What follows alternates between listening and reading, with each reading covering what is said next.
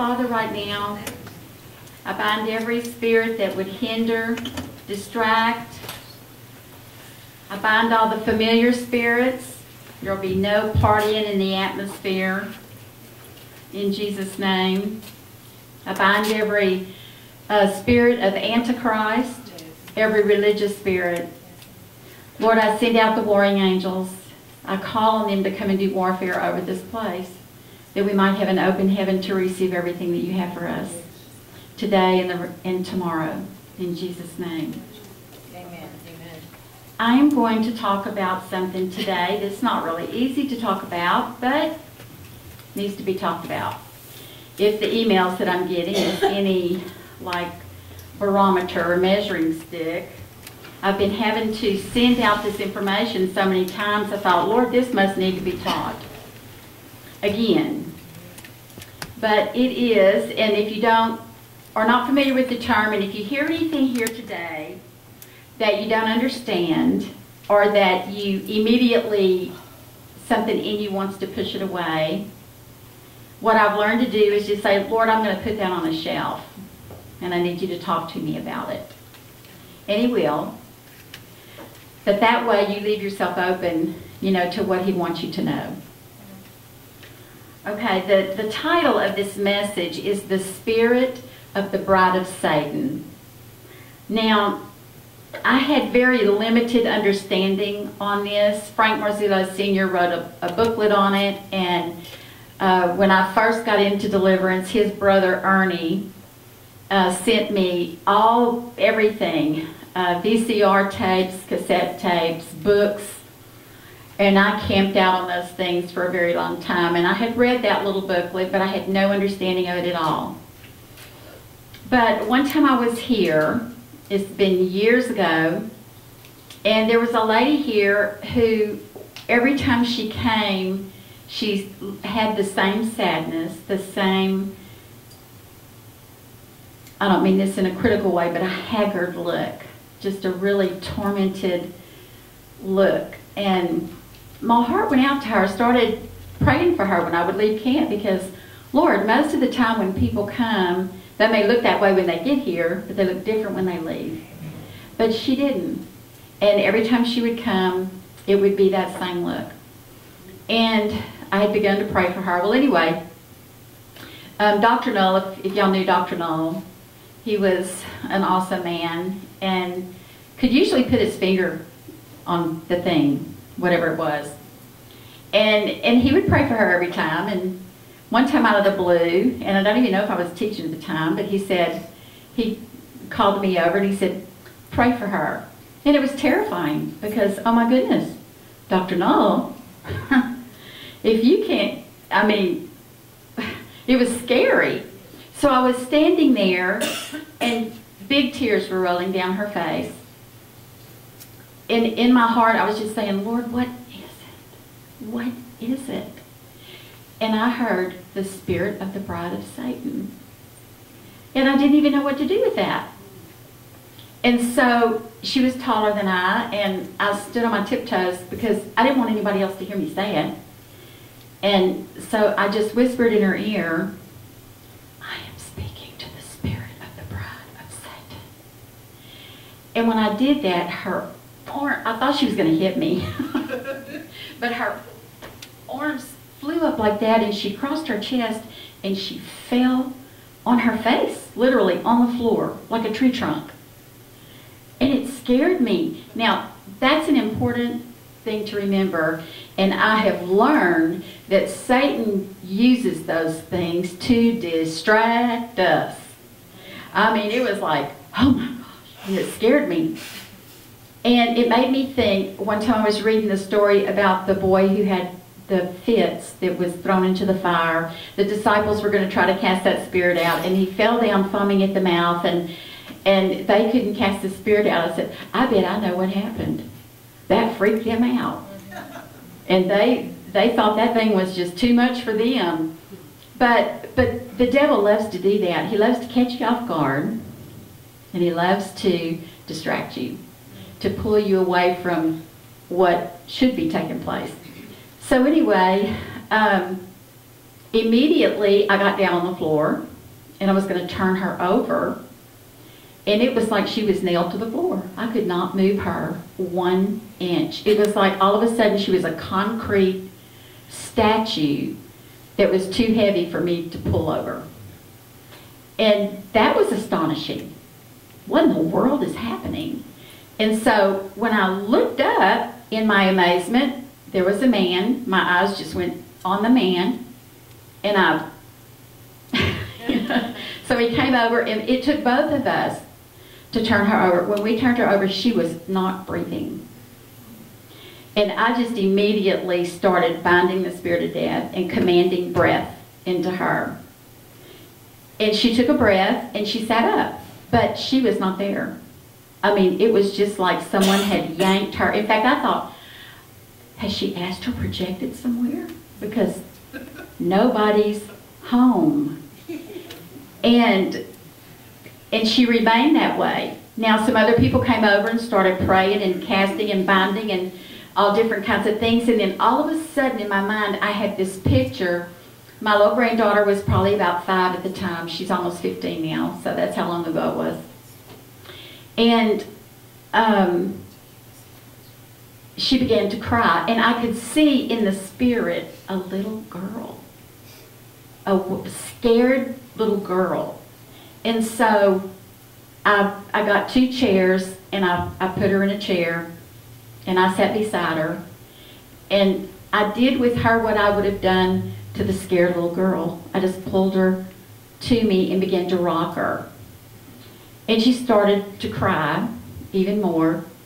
And then she got in my ear and she said, Can I tell you a secret? That was startling. It was a little girl's voice. And I said, You can tell me anything.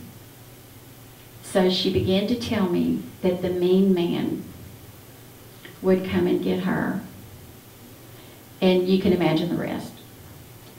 And then I knew what was happening.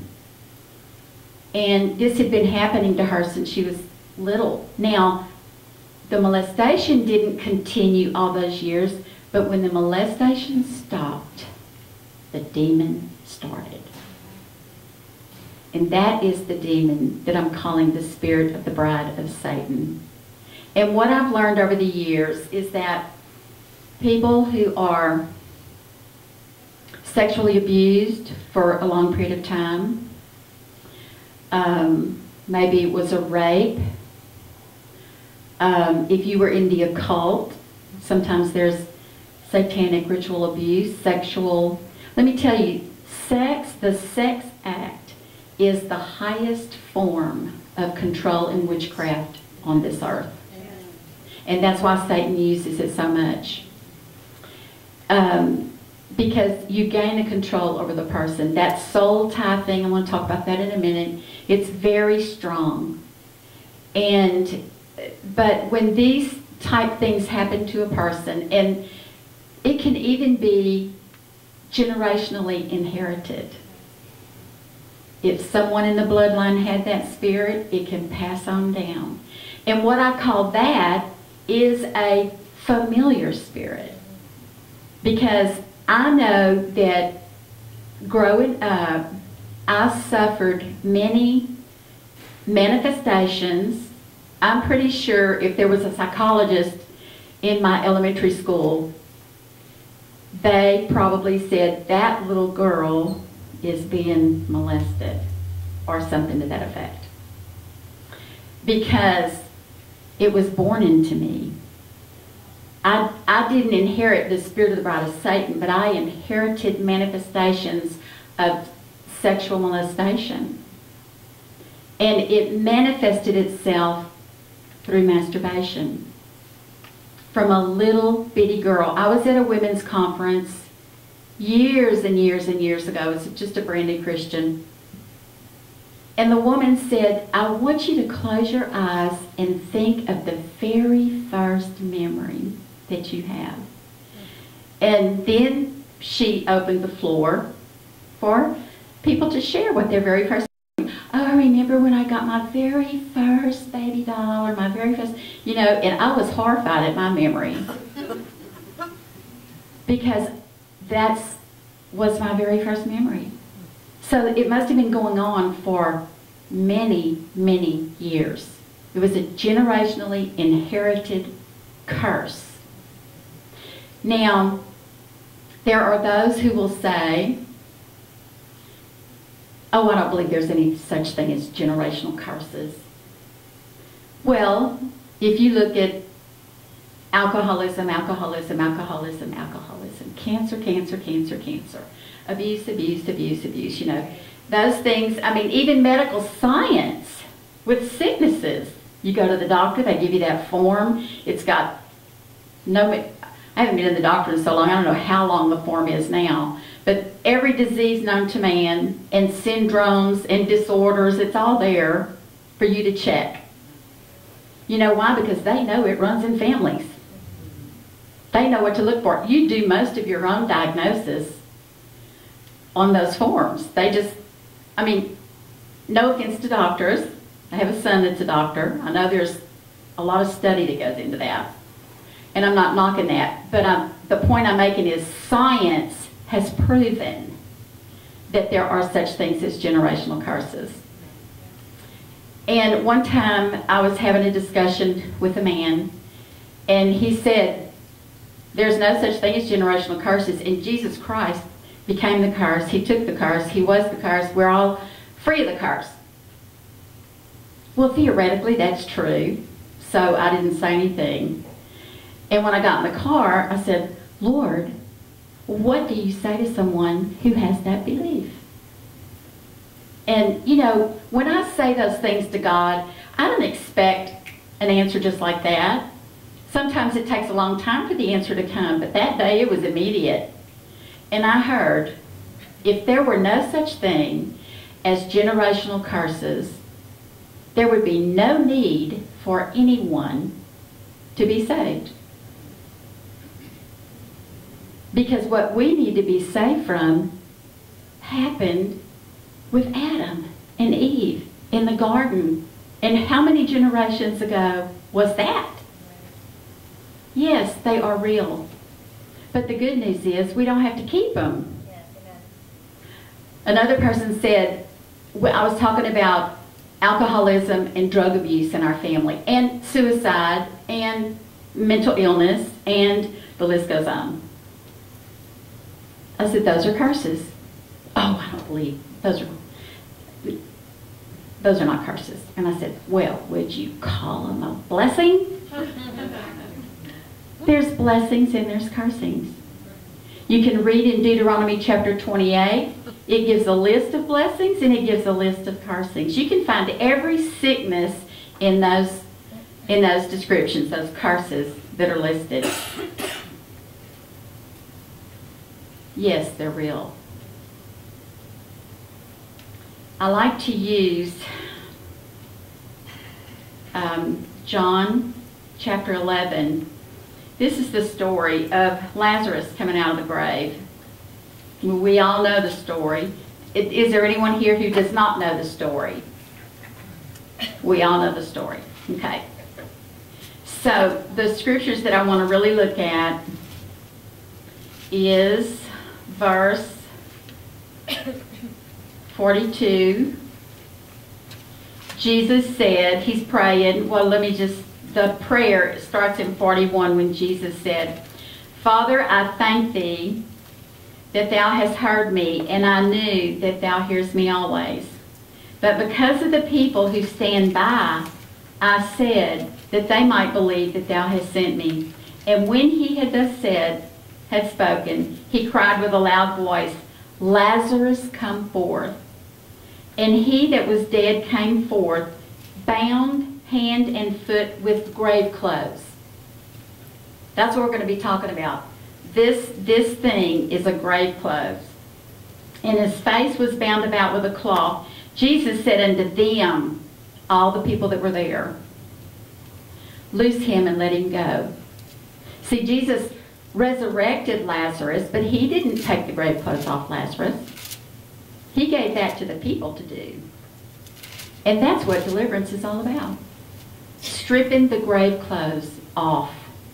If nobody had taken those grave clothes off Lazarus, he would have had a hard time living his life.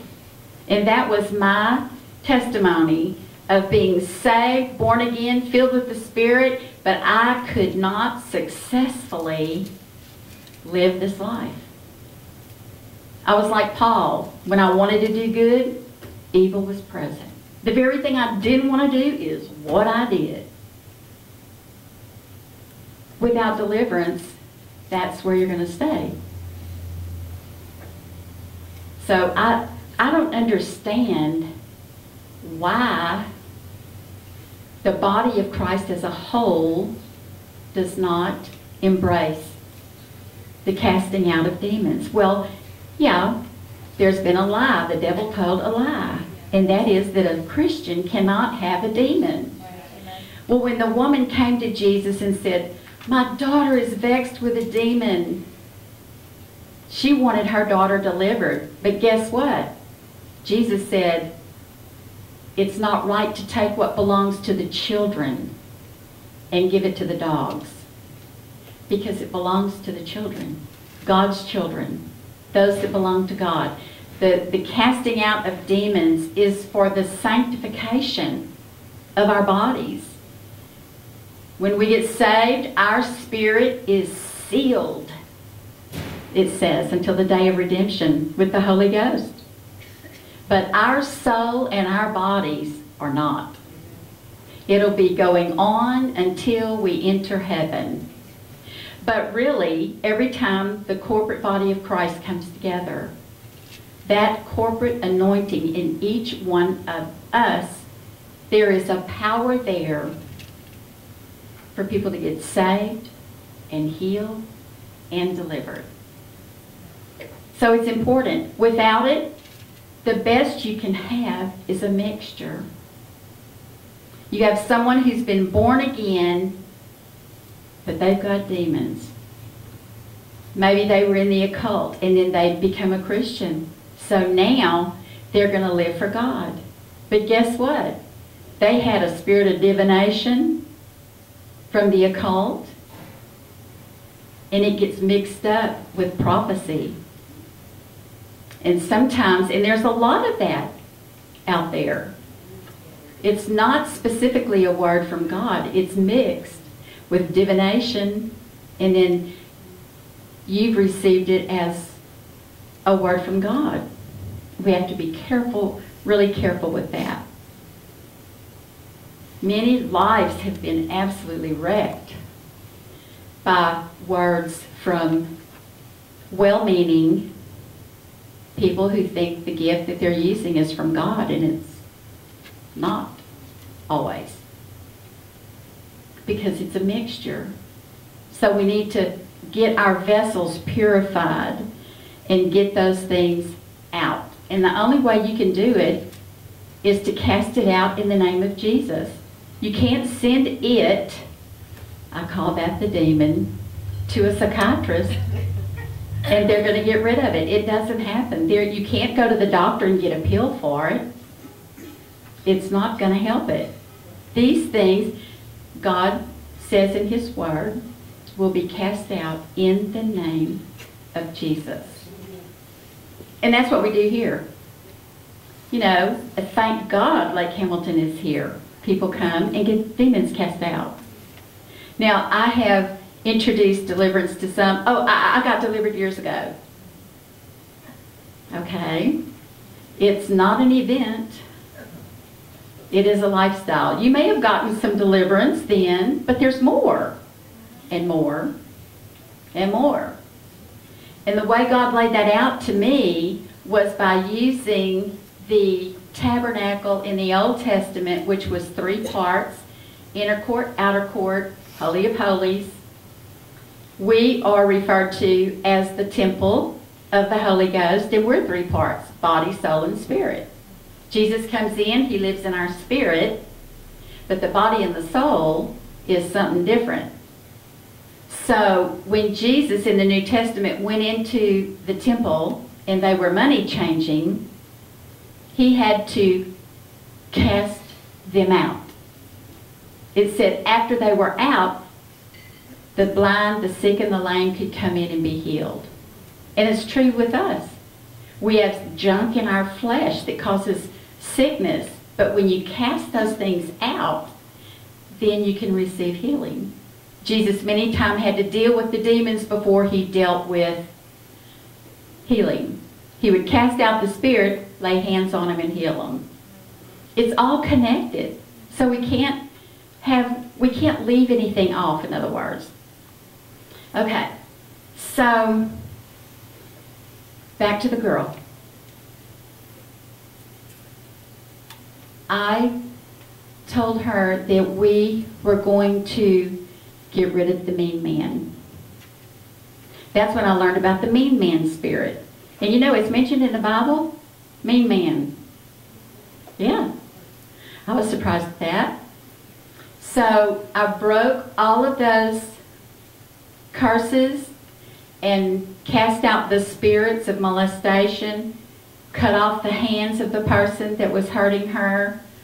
Um, and then when I got to the part remembering God said the spirit of the bride of Satan, I thought I'm just gonna I'm just gonna do this because it came to my mind. Today we are going to give Satan a spiritual writ of divorcement. Praise God. And get rid of it. No more. No more access. What was happening, and I didn't I didn't know this at the time, but about three weeks after camp, she called me. And she said, I didn't want to speak too soon because I wanted to make sure it was really real. But she had not been raped by a demon since then. That's powerful. The reason she looked so haggard, so worn, so sad, and all of that was because the spirit of the bride of Satan was using her for his pleasure. It's like being a sex slave for Satan. He gives your body access to demonic activities, spiritual, sexual stuff. And I heard on TV one time, Mike and I were watching a, one of those magazine shows like 2020 or whatever, and that there was a table of women. There were about 12 women around this table. Many of them had their faces blurred because they were talking about this phenomenon of um, spontaneous orgasm. And it was driving them insane. Some women had committed suicide over it because it was a hopeless situation. They were being tormented day and night. It, I mean, they would talk about like uh, being sitting at their desk at work and this being tormented by this. They didn't know that it was a spirit. They didn't know what it was. And neither did doctors. And I thought, how sad. I bet some of those people even go to church. But there's no help if you don't know about it. And if you don't have it dealt with, it just stays there. And there are physical, there are even physical bodily responses like a person had actually had intercourse. Some are very violent and hurt hurt the women. And I'm sure this happens with men too. When I started learning about this, I thought, oh, okay, see, because we, we hear about incubus and succubus, and we sometimes deal with those spirits, but they don't stay gone. And that's whenever I started, you know, giving that spiritual writ of divorcement. Let's do, let's try this. Let's just see and it puts a stop to it. So I'm led to think that the spirit of the bride of Satan is like a ruler spirit, a strong man, the, the one that's over incubus and succubus. So that's the one I want to deal with to put an end. Now, I have heard it said that a generational curse will not be a part of your life unless you activate it. And I thought, wait a minute. I'm pretty sure that it's just the opposite. It's the presence of that generational curse that will even lead you into whatever it is. You know, because what would give a three year old the idea to masturbate? Nobody, I didn't have to see it, nobody had to teach it to me. And there's a misunderstanding because I had the misunderstanding. I hated that thing, but I had no control over it. And I couldn't wait till I got married so I would have a man. You know, if I had a man, then I wouldn't do that. But guess what? I got married and it showed up still demanding to be satisfied. That was so tormenting. I even told my husband about it. He, he just thought it was weird. Well, if you don't know about it, and I didn't, it was weird to me too. And so in some of these emails, well, the question that was posed to me is, and, and by more than one woman, many people, do you think it's wrong? Is masturbation wrong? And I send them one of my teachings that I've taught on it. And they want to defend it. They want to tell me, no, I think you're wrong because, see, I don't, it, I know you're, you have a husband. And I'm thinking, yeah, but it still showed up until it was cast out. Then, then, if, if the, the temptation of it comes, I had the power to stand against it. But when it was still there, I had no power. It would torment me and torment me and torment me until you satisfy it. And that's how I see that demons, they're in you and they just, they want to be satisfied. If it's murder, it's murder. If it's stealing, it's stealing. Whatever the demon is, it's down in here.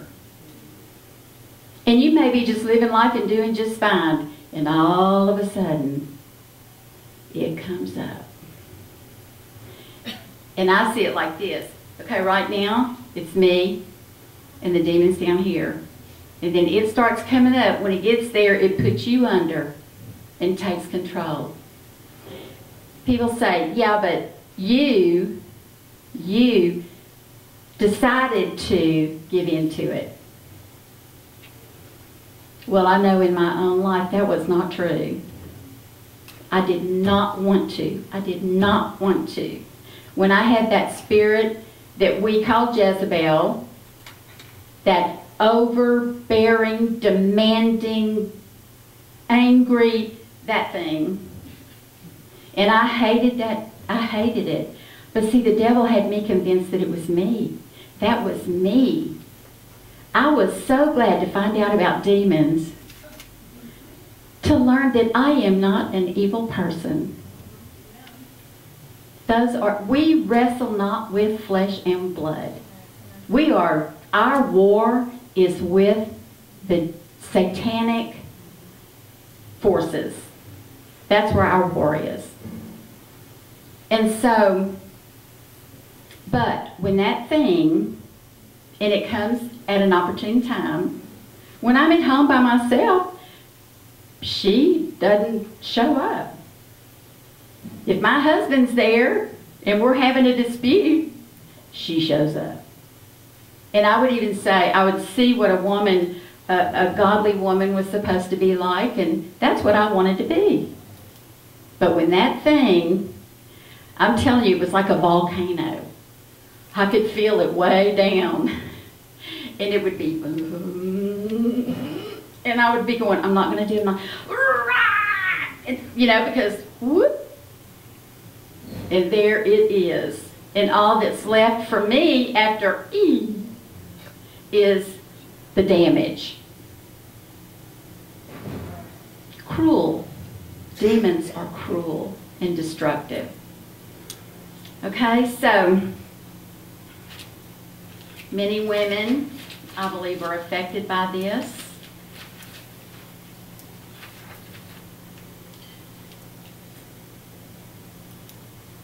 They're tormenting spirits. And, and maybe it's not even masturbation. Maybe it's whoredom. Maybe you go out and before you know it, you're with another man. And it's very prevalent in today's society. Um, there are people in the entertainment industry that are bragging about having sex with demons. Yeah. Now, back in the day, we would have never heard anything like that. Ever. I can remember Mike and I were married. I knew no, I didn't even know homosexuals existed. And when I found out, or incest, I think when I learned about it, we had gone to a movie and there was a big secret in the whole movie. And it was that this woman had a child. It was her father's child. At the end of the movie, she divulges the big secret. My daughter is my sister. Wait a minute. How, how can a daughter be a sister? And Mike said, well, that must have meant that her daddy had sex with her. I was like, I didn't even know it existed. And today, I cannot believe where the world has gone since I've been born. I mean, I'm sure my mother, who's 94, has seen way more than I have. But it is shocking. And the emails that I am getting, which I was torn between which message to give because I was thinking about doing a message on life in the new normal and dealing with the spirits that we, the grief, you know, I find myself uh, relating to Job, no, um, Lot. He was vexed by the evil, vexed. And I'm feeling that, vexed at the things that are going on in people's lives that we should never ever even have to deal with, but we're having to deal with.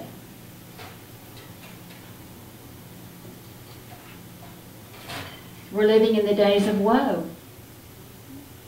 Woe unto those who call good evil and evil good. Those are the days we're living in. And how the enemy is getting so bold. He's always been bold, but he's in your face bold now right. with his his stuff. Forcing it on us.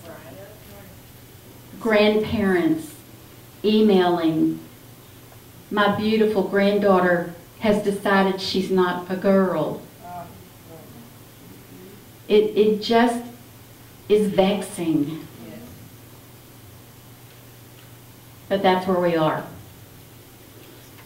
So this can be generationally inherited. And the Ten Commandments makes that perfectly clear. He says, You shall have no other gods before me. And I will visit the iniquities of the fathers upon the children of the third and fourth generation of them that hate me. Now we all think, oh, well, good, I'm safe there. But that word safe has to do with loyalty. Those who are not loyal to me, and before we knew Jesus, we were all our own gods, which is idolatry. Therefore, it is a perpetuating, visiting the iniquities of the fathers upon the children of the third and fourth generation. You know how many people that is? For the for for two people who have children, 60 for this one and 60 for that one. So you've got a gene pool of 120 people's characteristics that are coming down the chute to form that one baby. And they come with grave clothes. They come with grave clothes. Even King David said, I was born in iniquity. Well, I used to think that was because his mama was promiscuous until I understood. Every person born after Adam and Eve are born with a capital S stamp on them, and it's sin. And we need a Savior.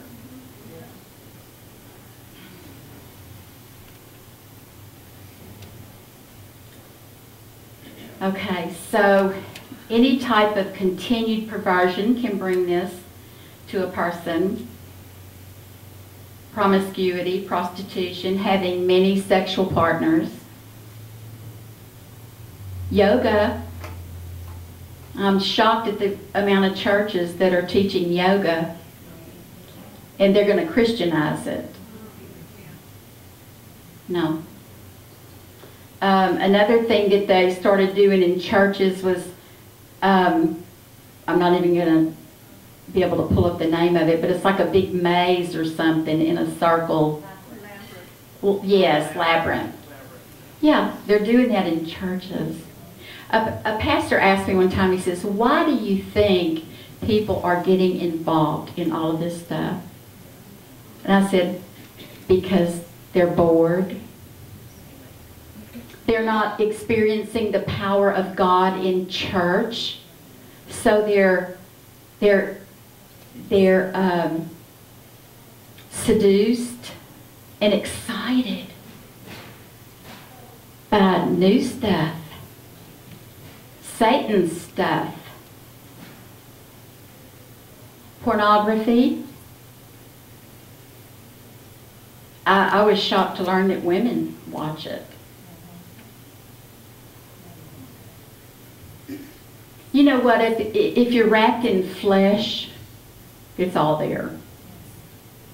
It's all there. These are all things of the flesh. Doesn't matter if it's a man or a woman. It doesn't matter if you're rich or poor, educated, uneducated, um, any nationality in the world. It's wrapped in flesh and it likes these kinds of things.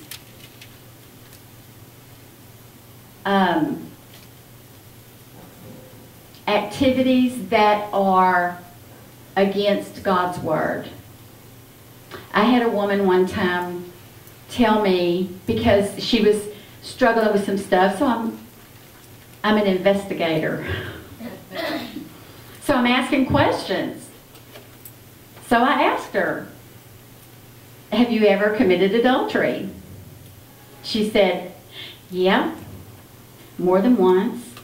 She said, but can I tell you that was the best sex I ever had? I said, you want to know why? And I didn't even know I knew why. I mean, God does this sometimes. He'll give me an answer to something that I don't know.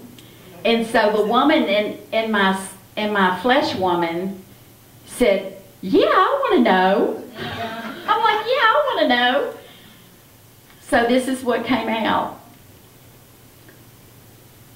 It's nothing new. Deborah mentioned it last night. The devil came and said something to Adam and Eve, and it was the fact that the reason God doesn't want you to eat from that is because you're gonna you're gonna be like him. You're gonna know. And so she got offended that God was holding out something on her. She looked at it. It was something to be desired. So she ate. Same thing with this. You're married. You know you're not supposed to do that. Satan has an anointing, if you will, an evil anointing, that causes his stuff to be more desirable than what God has given us. It's an anointing, an evil anointing. And if we knew that we were being seduced by an evil anointing, we would say, I'm not touching that. Get away from me. Yes. I'm going to tell you something funny. I left, we've had three deaths in our family two weeks ago. Well, in the last week and a half. And so Mike couldn't leave his job that much. You know, we have to close the office for a half a week. And so he couldn't do that. And so I, it was my relatives. One was his. We did. He did go to that funeral, but on my side, the other two, um, he didn't close the office to come. So the very, the second day that I was away from home, he said, "I got the strangest text last night." I said, "You did?" Yeah. It said, "Hi, sweetie. This is Jen." I'm going to be in your area the next couple of days. Why don't we get together? I said, and what'd you do? He said, well, I texted back and said, I don't know anybody named Jen, so you must have the wrong person. And I said, it didn't dawn on me when he was reading it to me, and then I went, oh, I know what that was. Because I, Gail Patton years ago did a teaching on witchcraft, and she said witches will assign someone to go and seduce your husband. Pastors, especially, they really love to do that. And when I got out of that meeting, I went and called my husband immediately. I said, You be watchful. I was binding those witches in the name of Jesus. And I usually do that, but I mean, it was just like a death, a death, a death, you know, and all the details. And so I, I was not on my game. And I said, honey, I just started praying. I bind every witch every spirit of seduction that would be sent to you while I'm away from home. I bind them in the name of Jesus. I said, and you be watchful.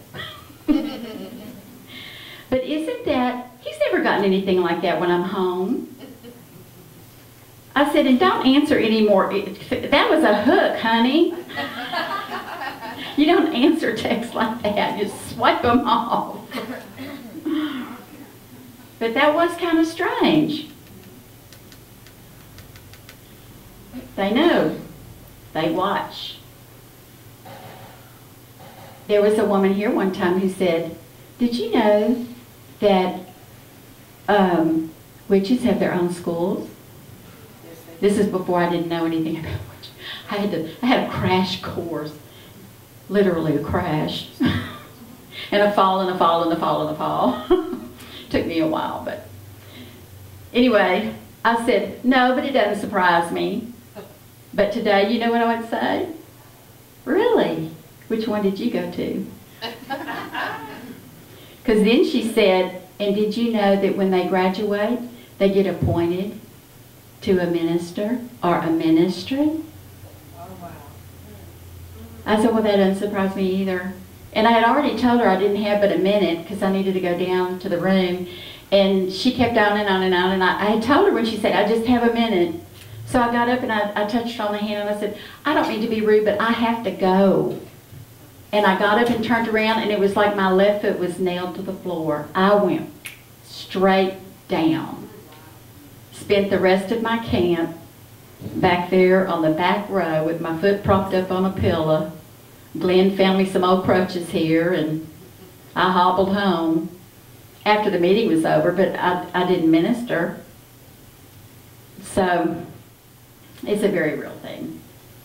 Okay, so pornography, what happens when you, when men are partaking, and women, spirits, God showed me a picture, spirits coming out of the screen. and coming into the person. The question I had posed to God was about homosexuality because my cousin's son, her only son, is gay.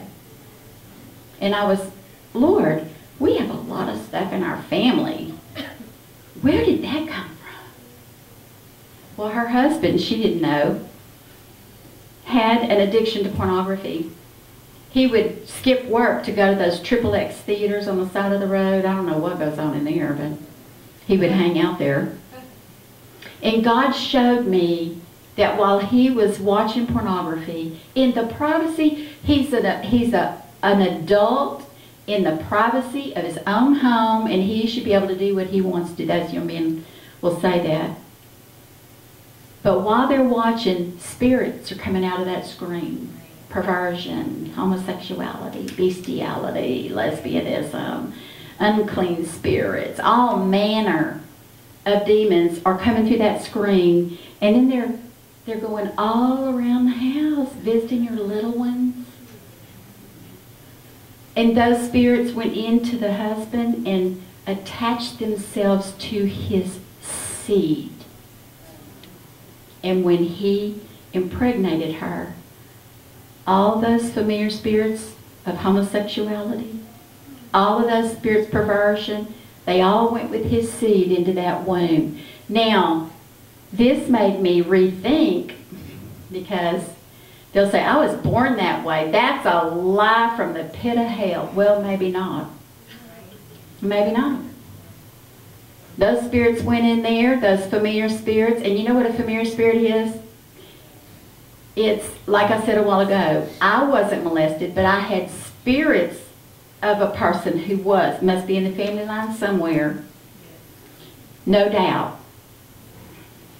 But I didn't have the molestation, the spirit of molestation, but the manifestations, which I call familiar spirits.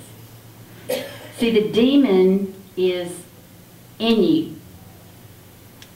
The familiar spirits are out here. It's a spirit that is familiar with the family and you, and it follows the bloodline, and it will guide, protect,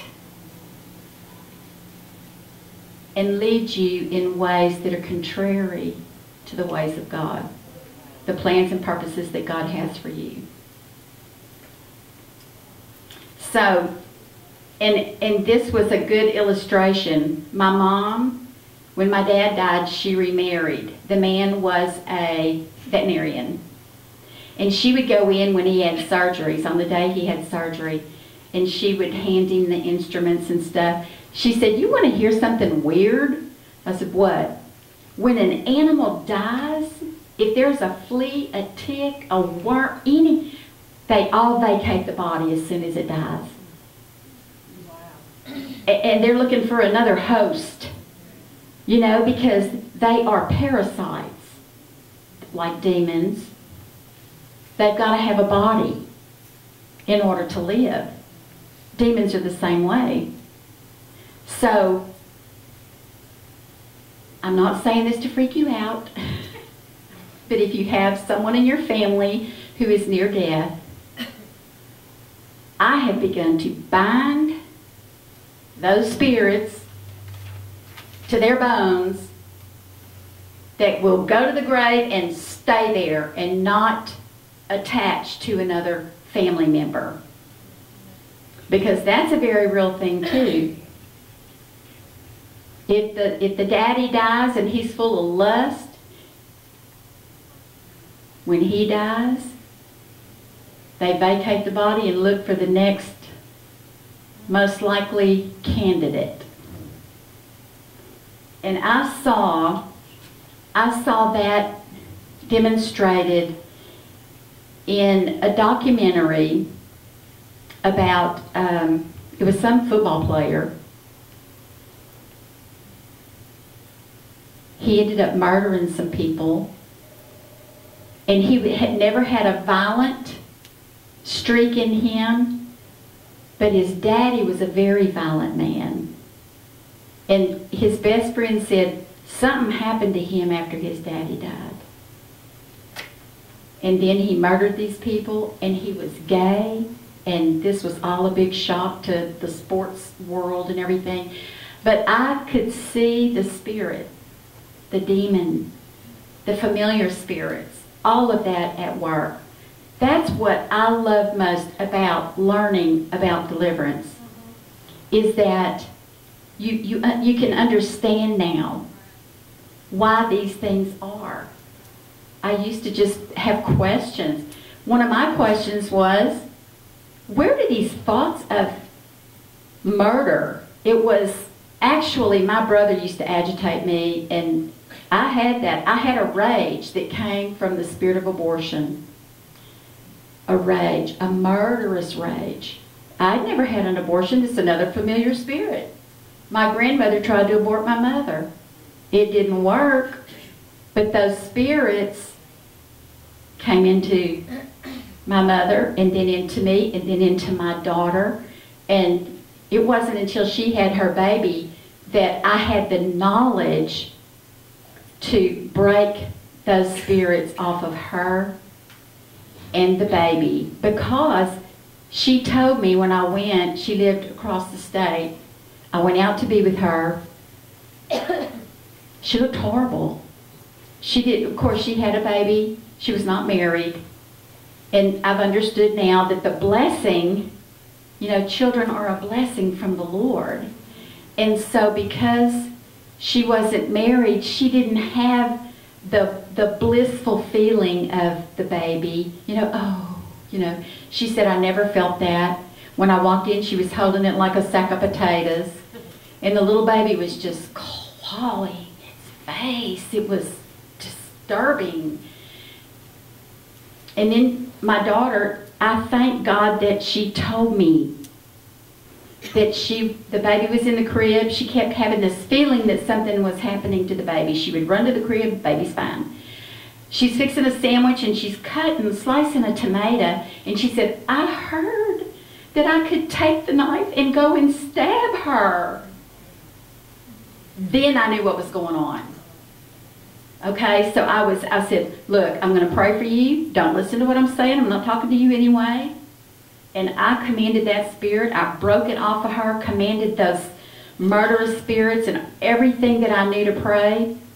And I'm not kidding you. She had an unloving spirit. She couldn't love the baby. She wanted to love the baby, but she had no love feeling towards that baby. And and so I broke it off of her, broke the bastard curse off the baby, broke the spirit of abortion off the baby, and um, I was there for a week. And over the that night, we went to bed. The next morning, she's nursing the baby, and she's not holding it like a sack of potatoes. She's holding it like a mama would hold a baby, and she's fooling with its little ear and, you know, touching its hair and and just I watched her fall in love with that baby. It was it was amazing. And yes, praise God that we, when we see these things, we can address them so that the thing is not perpetuated generation after generation after generation. It's beautiful. Okay, so fantasizing. Usually when people watch pornography, they will end up satisfying themselves. You know, the demon is there. And the, the spirit of the bride of Satan is the spirit that will, what he does in these cases, the spirit will claim you as his wife, his, his property that he will use to satisfy himself with, with sexual demons. Um, and there is a veil. In the spirit realm, there is a veil. He, he will hide you, in fact. Many people with this spirit will never marry because they're hidden. I had a girl one time, beautiful girl. She was telling me how she desired to be married. And she said, It is the strangest thing, Carla. I can be with a few of my friends and we'll go somewhere, and the men in there will look at all the friends and just pass by me like I am invisible. I had learned about this. I said, Were you by any chance molested as a child? And she started to cry. I said, I know what this is. Let's break it. It's the spirit of the bride of Satan. Don't let it freak you out. It's just a spirit. And we're going to cast it out. I'm going to break the curse of it and cast it out. And whenever I pray that prayer, I go through the motion of pulling that veil off of them. I've had more than one say, I felt that. That's weird. I felt it. Well, I've never felt it, but hey, yay. So, many people have a spirit wife or a spirit husband. That's the incubus succubus. And I, I used to see it just as like the incubus, the way I've had to remember that because I would get them mixed up all the time. Okay, the incubus has to go in, I-N. So that's the man part of the spirit. The succubus is the woman part. Because in the world of perversion, that's what the men like. And the spirit of the bride of Satan, with his anointing, will make everything that is illegal more pleasurable. And that's what they want.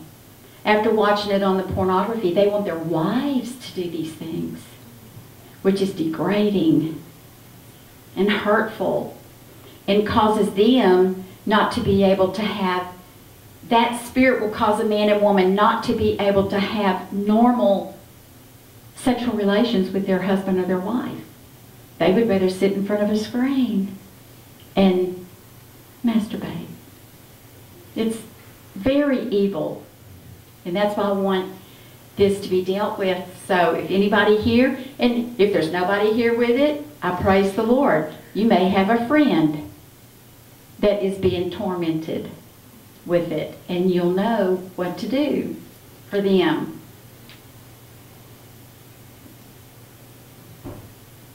Um, there are unclean spirits involved. I want to go back to pornography just for a minute. When those spirits were coming out and attaching to his seed, I think that's why we are seeing an explosion of homosexuals. Because pornography was available to anybody who had a TV and a VCR. That's what it used to. They had, I didn't even know, but before VCRs, they had those eight millimeter millimeter tapes. You know, uh, no. It's like a reel. Yeah, a reel with the with the film. Um, I guess it's been around forever. They've seen pictures on the walls, you know, in caves and things of this kind of stuff going on. It's been around forever. It's nothing new. Although the commonality of it is new, I think. Okay, so um, the spirit wife and the spirit husband. One woman who was defending because she didn't have a husband, and she said, and if your husband was gone for, you know, amount of time, she wasn't even married, but she said, if, if your husband was gone, I mean, it helps you stay, um, keep you from going and having sex with somebody else. I said, well, so what? I haven't responded. I thought, I'm just going to teach this. I'm going to send it to her. But the reality is, if that's what's keeping you, then you have a spirit husband. A spirit husband. And guess what? When you get that man, he's not going to be able to satisfy you the way it did. And you will still, it will still want to be satisfied. So then you have a husband and that. No. That's why we need deliverance. Fantasizing, if you spend time fantasizing, and there's familiar spirits even around that. It, and you know what else? What? Be careful what you have in your homes. Oh, spirits attached to things. Spirits are drawn to certain things. Um, if I, you know, if I do the investigation and don't find it in the person, I'm saying, okay, so let's take a look at what you have in your house. And I start asking them about that. Because books, I read a book one time, The Girl with the Dragon Tattoo. I was at the airport. I had packed my Bible. Oh, I don't have anything to read. I'll just go in the bookstore. It was a bestseller. I love a good mystery. But about two thirds of the way into the book, you find out she's bisexual. Well, guess what? I wasn't reading that stuff. I didn't want the imagery. I didn't want the words. So as soon as they would show up at her, her apartment, I'd start flipping pages. You know. But guess what? There was a familiar spirit in that book that attached itself to me. And one day in a Bible study, a woman was struggling. I was do I was doing a teaching on sexual sin and deliverance on sexual sin. Had to run to the bathroom and I didn't see her anymore, forgot she was even there. Everybody was gone. She comes out and she looks like she has been through war in that bathroom. And she wanted to say it, but she wouldn't say it. And I said, Listen, let me tell you what Satan does. I know what he's doing. He's telling you, you better not tell her. You better not say it. They're not going to think the same about you anymore. The devil will blackmail you into keeping quiet about it because if you let it be known, somebody might deal with it. So be careful with your secrets. That's where his power is. Don't go home with it. If you have a deep, dark secret that is being guarded and Satan is telling you to keep it a secret, that's the very thing you need to come up here and say, I've got a secret. And get it out so it can be dealt with because he's blackmailing you. She, she finally says, I said, if, if you will just say it, it will break the secret. His power is broken. So she thinks a minute and she says, I'm sexually attracted to you. Well, I wasn't expecting that. but you know what? I call it being in the zone. When I'm in the zone, it goes right past me. My flesh woman hears it inside. I'm going, oh, what? But but when I'm in the zone, I just sat my Bible down and I got up and went over and started breaking that curse in the spirit and calling the spirits out. She got deliverance. I hugged her. She went home. And it's like it never happened. That's the good thing about it. You don't carry it. It's amazing, actually. Can't even remember it. I mean, I remembered it, but when I left the house, I mean, the two ladies, the lady that owned the house where the Bible study was, they were just sitting there. I don't even know how you got past that. And I said, I, I don't know either. It's just when I'm in the zone, I don't hear it. It doesn't affect me. But when I got down the road a little ways, I said, Lord, where in the world? What? You know there is not. He said, Remember that book you read? And I was like, Oh my gosh. So be careful, little eyes, what you see. Be careful, little ears, what you hear. The devil doesn't miss an opportunity.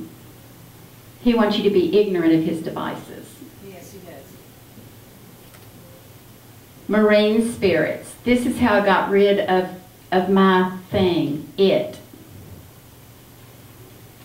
Was listening to, there was a, a big meeting in Colorado, deliverance. Oh, I wanted to go so bad. I didn't have the money to go, anybody to go with me.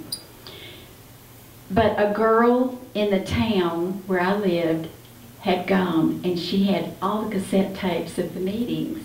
So she, when I found out about it, I asked her if she would let me listen to them. So I'm listening in the car when I have to drive back and forth. We lived way out in the woods, so it was a long way to anywhere.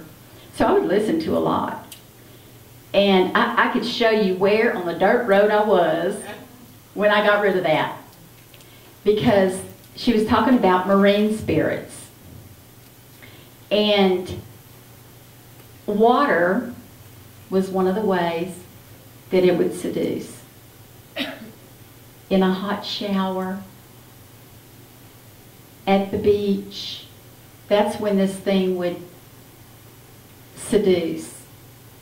Then I figured out that's why all these people on spring break are running to the beaches because those marine spirits are strong. They are seductive. There is drunkenness.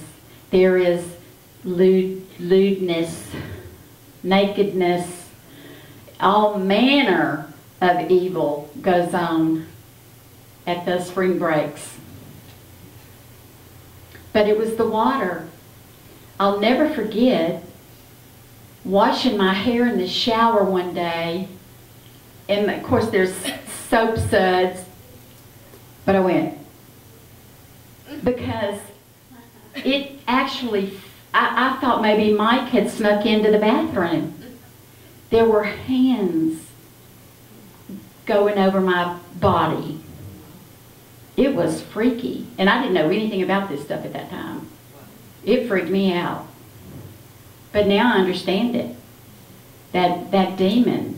And it's it can work with marine spirits. In the tape, she said that's why you have to be careful when you have teenage children and they're spending too long in the shower.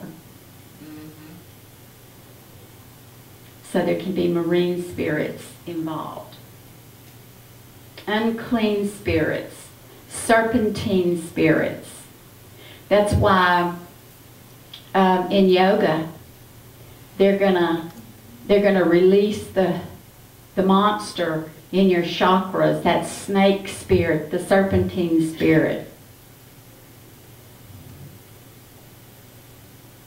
People in um, other religions, Hindu, Hinduism, that it's a kundalini spirit can be involved with the spirit of the bride of Satan.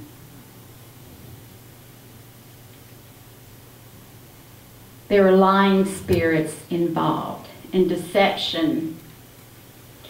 And see, when you have multiple sexual partners, and I think this is one reason that our world is so crazy. Because the Bible says in 1 Corinthians 6 that who you join yourself to, you become one with. God designed that for a husband and a wife. But when you are outside the covenant, it's demonic. And when you part from them, they take a piece of you with them. If this was you or a person who has multiple sexual partners, that, you know, they all have a piece of your soul, so you're scattered. Your, your mind is not even whole. Your soul is not whole. So you have a lot of confusion, troublemaking, decisions, trouble doing the right thing, just fogginess, and, you know, because this is what your mind looks like. If we could see ourselves in the spirit, there'd be a lot of Swiss cheese walking around. mm-hmm. Fragmented soul and mind. The mind is part of the soul. Okay. Um, so we're going to do some deliverance. Okay, I think we all, do we all understand what uh, soul ties are? You all know the biblical soul tie that was godly was between David and John. Uh, thank you, I get my characters all mixed up. Yes, and it said that, that their, their souls were knit together You know, you could take a piece of fabric and try to pull it apart, and it might rip and tear. But have you ever tried to pull apart something that was knitted? It ain't happening. But we can break those things in the spirit. And here's another thing about a soul tie you lose authority over your own body. And God showed me that like a man in a, in a boat fishing, the fish are swimming. They can go anywhere in the lake they want to.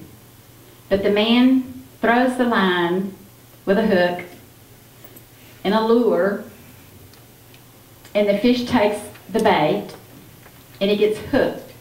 Now the fish no longer has total authority over its own body because it's, it's hooked to the line of the fisherman. And he can do, he can jerk it over here and jerk it over there and let some string out and make it think it's free and then he jerks it back and pulls it out. That's the same thing that happens to us with a soul tie. You wonder why this person keeps showing up in your dreams. It's a soul tie. They're it becomes a bridge then that they can travel back and forth on and visit you even think about you and project themselves to your mind or whatever. You can get their problems. Jerry said that this morning. You can get their problems, their financial junk, their struggles, dissension, strife, diseases, all manner of things travel over that soul tie. So it's important to break the soul tie. So if you, you know, if you were molested, if you, if you were the victim of incest for many years, we're going to break the soul ties. We're going to um, restore your soul and your mind so that you can think right. Get all those demons out of your sex organs. They, they lodge there sometimes it can be the root of problems in your bladder, your urethra. Is that the right word? Your uh, kidneys, your rectum, depending on what was done. So we want these things out of there. Okay, so I want you just to stand up and then, then we can sit back down, but it's kind of nap getting close to lunch. I thought it was nap time, but it's 11:25. wow. Okay. Okay, first I'm going to break the generationally inherited curses. Here's my prayers. Okay, we're going to start repeating this, and when you get tired and want to sit down, just feel free to sit down. Okay, so let's just repeat. Father, Father in the name of Jesus Christ, of Jesus Christ I break the generationally inherited curse of the spirit of the bride of Satan, and, other curses, that came down upon me, through my father's bloodline every unholy spirit, every unholy spirit that came into me, me from, my father, from my father when I was conceived. I, was conceived. I command you to get out of me now. command you to get out of me now. In Jesus' name. In Jesus' name. And I give leave, I give leave to the familiar spirits. to the familiar spirits. That's the fleas and ticks. Okay? Those, those that hang around you um, that have followed me down my father's bloodline, to track me, to track me, trace me, trace me, guard me, guard me, guide and direct me guide and direct me in ways that are contrary that are to the plans and purposes plans and purposes that God has for my life. that God has for my life. Go now Go now in. Jesus' name. In the name of Jesus Christ, In the name of Jesus Christ, I break the generationally inherited curses I break the generation inherited curses that came down upon me down upon me through my mother's bloodline. through my mother's bloodline. the spirit of the bride of Satan, the spirit of the bride of Satan, and every unholy spirit and every unholy spirit that came into me came into me from my mother. from my mother when I was conceived. I bind you and break your power and command you to get out of me now in Jesus' name. Jesus' name. Now, if you know things that have come down your mother's bloodline and you know things that have come down your father's bloodline, let those be in your mind as we cast these things out, especially um, infirmities. If you know the infirmities that were in your father's bloodline and your mother's bloodline that have come down on you, I want you to name those right now, just um, quietly on your breath all the infirmities that came down from mother and father. In the name of Jesus. I bind that spirit of infirmity. I break the curse of death and the spirit of infirmity that came down from the mother's bloodline and the father's bloodline. And I command you to get out of God's people now. Get out. Say them out loud now. Get out. Say your diseases. If you've got them in your body, name them now. Get out. Say it and tell it to get out in the name of Jesus.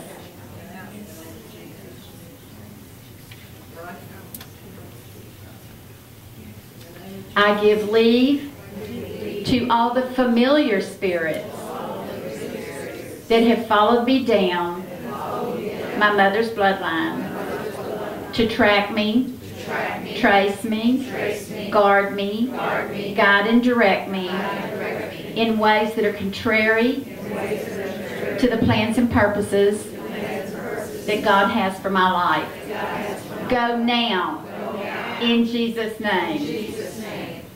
In the name of Jesus, In the name of Jesus. I bind and break the power Bind and break the power and command out of me. and command out of me Name your adverse personality traits that you got from your mama and from your daddy.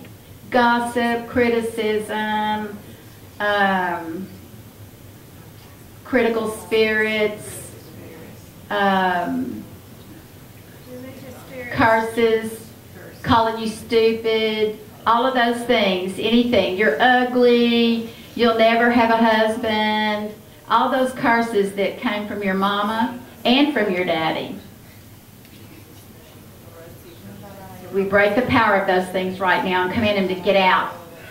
All their personality traits, their evil tendencies go, lying and stealing and gambling and drinking and uh, beating and um, all their traits. Thank you, Jesus. In the name of Jesus, I now bind, break, and loose myself and my children from any and all evil curses, charms, vexes, hexes, spells, jinxes, psychic powers, bewitchments, witchcraft, sorcery, Freemasonry, fraternities. Um, Sororities. I thank you. I couldn't think of the female one. Sororities. Um, and I break every oath, covenant, dedication, and cancel any any dedications that were made on my behalf when I was in the loins of my forefathers. Because you know, they they dedicate their future generations. So we break that right now in the name of Jesus. I call down fire from God to destroy the altar that Satan has erected for my life. And I give leave to the unholy angel. Doesn't God appoint a guardian angel to us? Angels. So does Satan. So we're getting rid of them. We give leave to those unholy angels that Satan appointed to me at the time of my conception in Jesus' holy name. You remember the cartoon with an angel on his shoulder and the devil? You know, people who make these movies and cartoons, they know some stuff. I break and destroy any ungodly yokes that were placed on me by anyone. And I yoke myself to you, Lord Jesus. And I thank you for freeing me. I now cover myself with the blood of Jesus Christ and give you thanks. Amen and amen. Okay, now we're going to break the soul ties with whoever molested you or hurt you, incested you, abused you, uh, mistreated you in any way that would give Satan access to use you as a sex slave. Also incubus and succubus. Incubus and succubus. Yeah, I haven't I haven't called out the spirits yet. Okay, okay. So, um, Father, in the name of Jesus Christ, I break soul ties with, and you know who it is. So you just under your breath can voice those names out.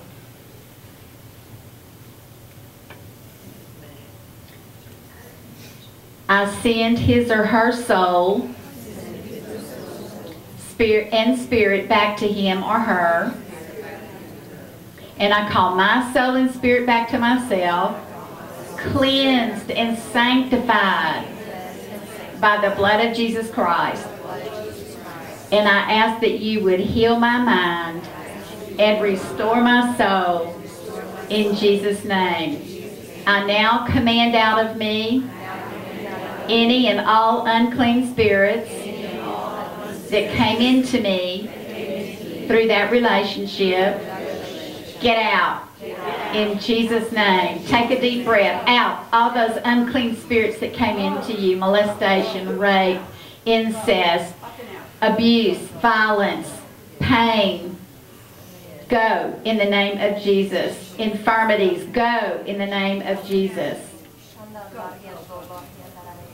I command all the familiar spirits that attach themselves to me through that relationship to leave me now. Go in the name of Jesus. And Father, I now reclaim and ask that you restore back to me the authority over my body that was forfeited through that soul tie. And I thank you in Jesus' name. Amen. Okay. Now, if you have been tormented by that spirit of the bride of Satan, and it's an opportune thing. It maybe maybe it hasn't visited you yet, but not to say that it will, but it will wait. Like I don't know, maybe wait till you're a widow or divorced or something like that before it shows up and makes its offer to you. Um, we're going to break that spirit of the bride of Satan. And if anything like that ever comes to you, don't try to figure out what it is. Sometimes we spend too much time trying to figure out what it is and why it has a right to come. Just in the name of Jesus, I command you to go. That's what you need to do. In the you're going to have to open your mouth. You can't think it with your head. In the name of Jesus, you get out of here and don't you ever come back. Yes, in the name of Jesus. The power is in the name of Jesus. You know, when casting out spirits, he did not say that we're going to cast out spirits by his blood No. or by his anything else. It's the name of Jesus. Father, in the name of Jesus, I bind and break the power of the spirit of the bride of Satan. I break every oath, covenant, and dedication that was made on my behalf when I was in the loins of my forefathers.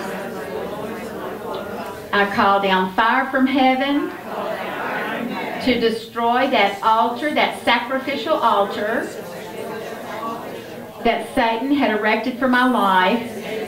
And I give leave to the unholy angel that was appointed to me at birth. I thank you, Father, for giving me power over all the power of the enemy. And I exercise that power now. Satan, today, I give you a spiritual writ of divorcement. I am not your bride. I now remove from myself your veil.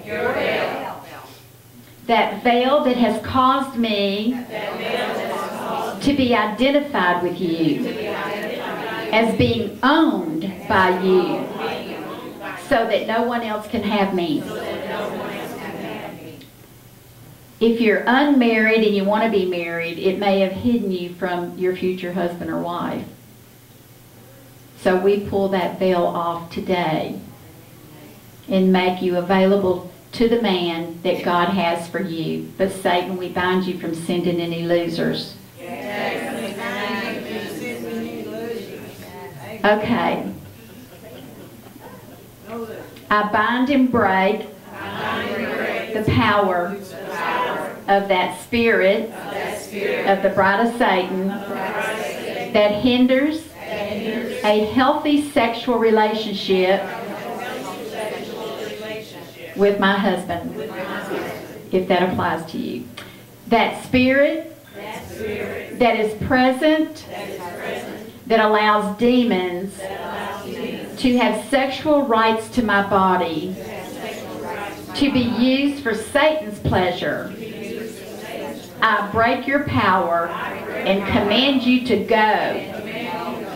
That spirit that torments me sexually in my dreams, in my thought life, all during the day, or that rapes me in the night.